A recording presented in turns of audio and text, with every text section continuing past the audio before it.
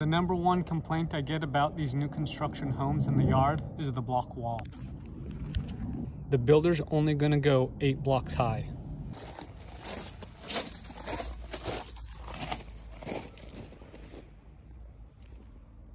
Whoa, yeah.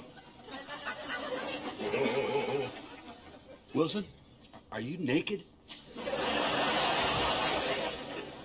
No, Tim, I'm wearing a hat.